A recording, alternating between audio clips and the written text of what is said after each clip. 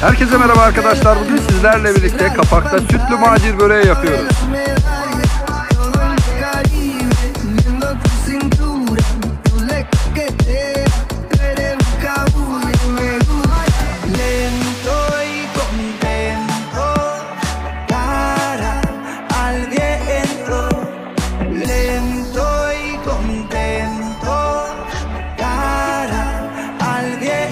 Vamos para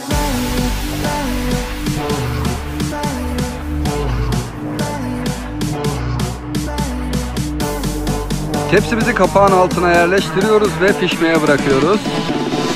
15 dakika kadar pişiriyoruz. Ve süt böreğimiz piştiği hazır.